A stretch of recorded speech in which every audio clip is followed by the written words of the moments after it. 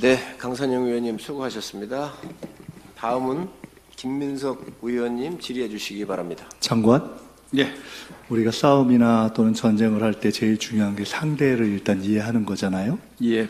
그 저랑 첫 질의를 주고받으실 때 저한테 이야기하다가 화를 내고 사과를 한번 하셨었잖아요. 화낸 적 없습니다. 아, 화를 안 내셨어요? 그 속기록에 써 있는 것 같은데 뭐 됐습니다. 그 이해를 기억을 못 하시면은 제가 블랙 요원 리스트 누출 문제를 제기를 했고 지금 이번에 우리가 경호처장 당시의 비밀 모임 문제를 저희가 제기를 했고 아까 의원님 죄송한데 말씀이 잘 안 들리거든요. 어, 그, 이거 다시, 다시 시작할까요? 그, 블랙 요원 리스트 문제를 제기하고, 비밀 모임 문제를 제기하고, 여인형 우리 사령관이 굳이 공개하고 싶지 않고 했던 동선까지 우리가 다 파악하고 있잖아요. 제 이렇게 드리는 말씀은 야당 의원들 일반의 질문에 대해서는 경각심을 갖고 하시고, 특히나 제게, 제가 질문할 때 신중하게 하세요. 그 아까 운행일지 문제에 대해서 제기를 했잖아요. 예하 부대에서 알아서 하는 일이다. 이것은 사실은 법에 대해서 국감 피감기관의 책임자로서 법에 대한 이해가 없는 굉장히 책임 방해적인 발언이고요. 그걸 떠나서 어, 그렇게 예하 부대에서 하는 것이 아니라 장관이 이 문제에 대해서 기록을 제출하지 말라고 했다는 근거 기록을 저는 가지고 있습니다. 그 그렇다면 이것은 그대로 본다면 장관의 위증을 입증할 수 있는 자료가 되고요. 두 번째로 그렇지 않다면 그 위증을 제시할 수 있는 근거 기록과 관련한 것을 제게 입수하는 과정에 아, 계셨던 군 간부가 알아서 아, 한게 되게 되겠죠. 일단 참고로 법을 좀 제시해 드릴게요. 우리 증언감정법을 보면은 국회 증언감정법 4조에 보면은 국가안이 중대한 영향을 미칠 수 있는 경우에 제출 안 할 수 있지만 증언 요구를 받은 날로부터 5일 이내에 서명하는 경우에만 그렇습니다. 즉 우리가 요구했던 것에 대해서 5일이 지나서도 소명이 온 것이 없기 때문에 일단 이것 하나를 위반하신 거예요. 두 번째로는 14조를 보면은 선수한 증인이 허위 진술을 할 경우에는 1년 이상 10년 이하의 징역에 취하는데요. 현재 우리 대한민국 검찰이 어지간한 일 갖고 법정 최고형을 구형하는 그런 취지에 비춰본다면은 장관은 위증의 경우에 약 10년 징역까지 받을 수 있는 그런 10년이 아주 아니라 100년이라도 받게 받을 테니까 네. 말씀하세요 계속. 자, 그렇고요. 그 또 하나 또 참고로 말씀드릴게요. 그런데 그 경우에 마지막 항에 어, 국정조사를 종료하기 전에 그 자백할 경우에는 감경하거나 면제할 수 있다 하는 제가 조항까지 말씀을 드립니다. 저 이거 한 1, 2분만 더 주십시오. 앞에 잘 안 들린다고 했기 때문에.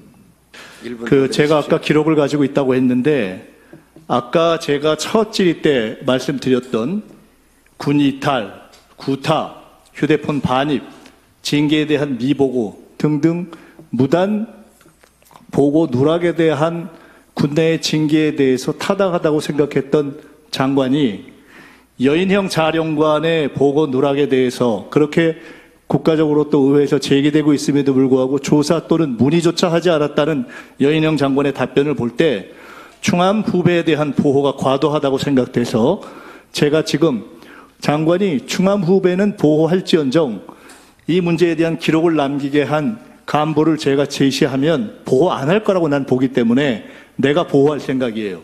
그래서 제가 갖고 있는 근거를 위원장, 양당 간사, 장관, 저 다섯이서 확인한 후에 이것을 처리할 것을 저는 제안하고요. 이것은 이미 그 존재 자체로 장관의 위증 고발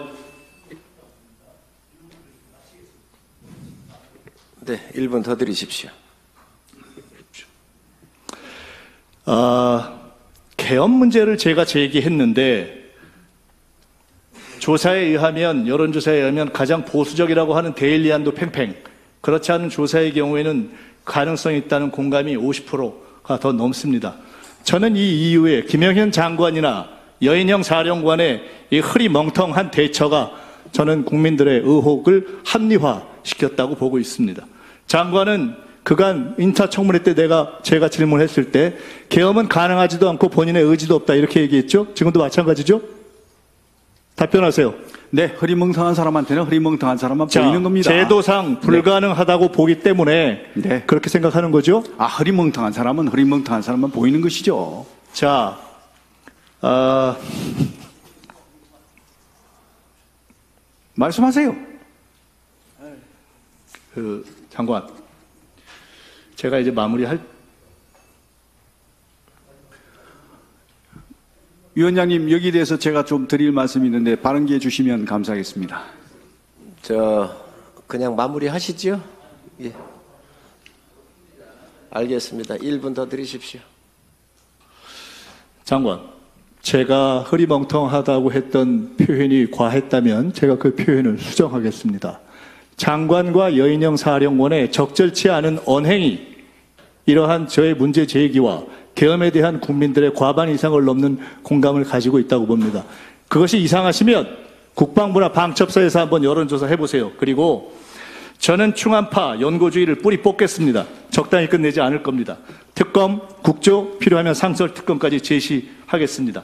그리고 한 가지만 끝으로 말씀드리겠습니다. 장관이 민주주의 하에서 문민 장관은요, 여러 가지 견제와 공세에 대해서 품격을 지키면서 군을 대변하는 것입니다.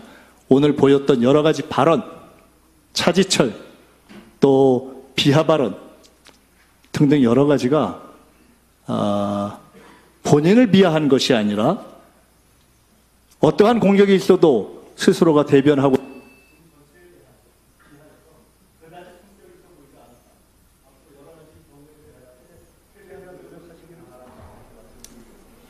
네, 김민석 의원님 수고하셨습니다. 마지막으로 이용문 의원님 질의해 주시기 바랍니다.